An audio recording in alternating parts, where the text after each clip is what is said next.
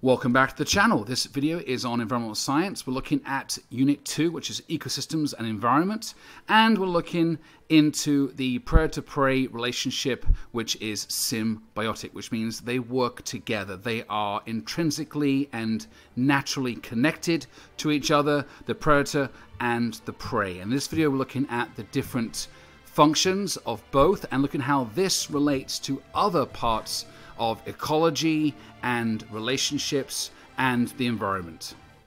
This is the Earth Science Classroom.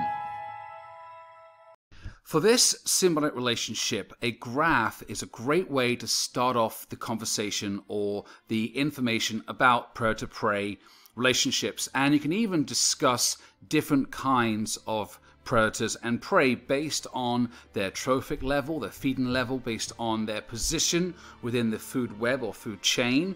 Are they directly eating or consuming the trophic level below, or is it a multiple level consumption?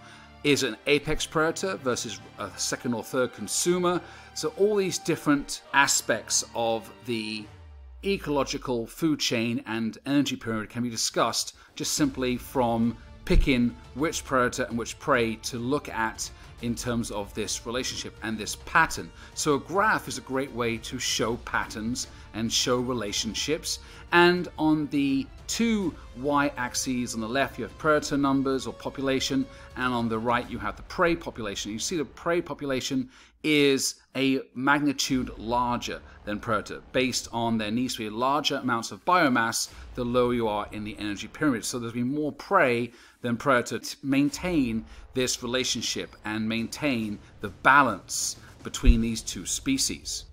So along the x-axis we have time. So time is going to continue as this relationship unfolds between the predator and the prey. So what you have is this blue line showing the prey, the red line showing the predator, and you see this opposite balance unfold where you have initially a high amount of prey and consequently you have an increasing amount of predators. So the predator is going to start a low number, a low population, and that would allow the prey to reproduce without being consumed and reproduce and have a larger population over each generation, thus increasing population exponentially as long as the environment allows it, the carrying capacity. So as the population of prey increases, you also have the consequent or concurrent population of predators also increase as a viable and plentiful food source is on offer for the predators to maintain energy and reproduce and respire as normal from generation to generation. Then you have this crossover effect where the population of predators maintains an increase. However, as there's more predators, the natural response is to have a declining or decreasing population of prey. So this pattern of rising prey and then a little lag time within the environment, within the resurgence of the predator population, a lag time would exist and there would be an increase in predator population. And then this would then flip and you'd have the death of many predators as there are less prey to feed upon. Therefore, the carrying capacity is going to change based on the predator's main source of food, and it will decline in population, and that will also allow a resurgence or resilience to repopulate in terms of the prey, and you have this resurgence of prey, and the cycle will continue as long as the environment and the limiting factors exist in balance or in equilibrium.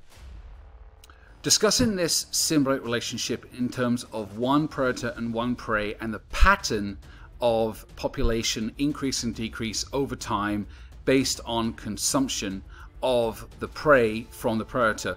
This is fantastic, great way to explain these natural balances that occur in environments, in food chains and food webs. But you can also expand this into different considerations in terms of the environment or the ecosystem.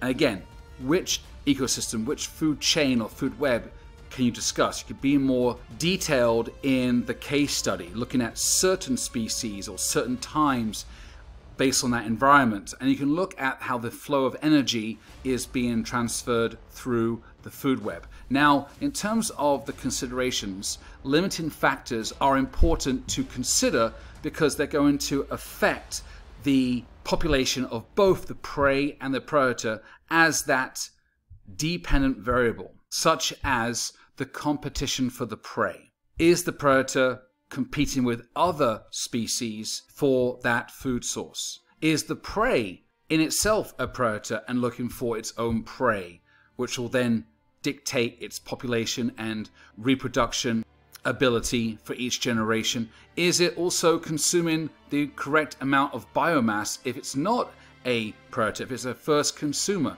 if it's going to consume the producer in terms of the autotroph? Also, the carrying capacity of that environment can it sustain a certain amount of both prey and predator based on, again, availability of resources like food and shelter and mates to reproduce? Also, the fact of changes to a habitat like disturbances and succession and human impact in terms of hunting, in terms of the alterations to a habitat. Look at the broader sense in terms of the climatic conditions.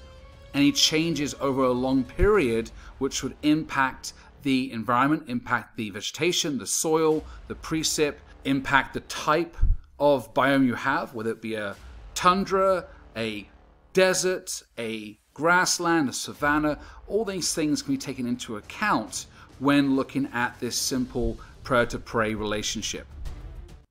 This is the Earth Science Classroom. Thanks for watching the video. If you liked it, please subscribe, like, and share. And if you want more content and videos on Earth Science, please check out my channel.